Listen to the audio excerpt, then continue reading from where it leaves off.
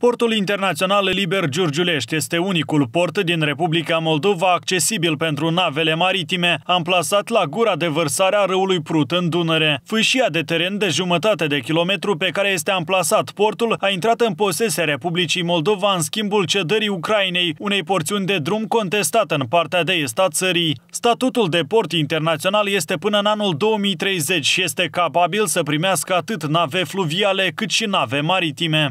Istoria portului începe cu mult mai devreme și anume în 1993, atunci când Guvernul Republicii Moldova, în frunte cu Andrei Sangheli, și-a propus să construiască un port chiar în zona de vărsare a râului Prut, în Dunăre, pentru a aduce petrol din Iran și astfel să fie asigurată securitatea energetică. Proiectul finanțat de BERD s-a mișcat cu pași de melc. În 10 ani, autoritățile au reușit să realizeze doar 30% din investiții. La finele anului 2003 au găsit soluția în cedarea gestiunii viitorului viitorului port grupului Azpetrol, deținut de Rafik Aliyev, un om de afaceri din Azerbaijan. Azpetrol se angaja să restituie creditul de 25,5 milioane de dolari contractat de la Berd, să dea în exploatare terminalul petrolier, să dezvolte o rețea de benzinării și să construiască o rafinărie în Moldova. În schimb, au fost oferite o serie de facilități fiscale. La finele anului 2006 a avut loc deschiderea oficială a terminalului petrolier, dar el așa și nu a devenit principala cale de import a carburanților țări. Totuși, portul s-a extins, fiind construite terminale de mărfuri generale, de ulei sau cereale. În același timp, în anul 2005, proprietarul companiei Azere a fost arestat, iar de gestiunea portului s-a ocupat Thomas Moser, care deține acum controlul prin intermediul Danube Logistics din Olanda. Acest lucru este contestat de Rafik Aliev, care după ce a ieșit din închisoare, a venit în 2012 în Moldova. În ultimii ani, portul Giurgiulești este în centrul atenției atât ca urmare a litigiului dintre Thomas Moser și Rafik Rafik Aliev, dar și ca urmare a unor informații că el ar putea ajunge în mâinile rușilor. Dincolo de toate aceste probleme, portul Giurgiulești rămâne un obiectiv strategic pentru economia Republicii Moldova și dezvoltarea lui este o prioritate.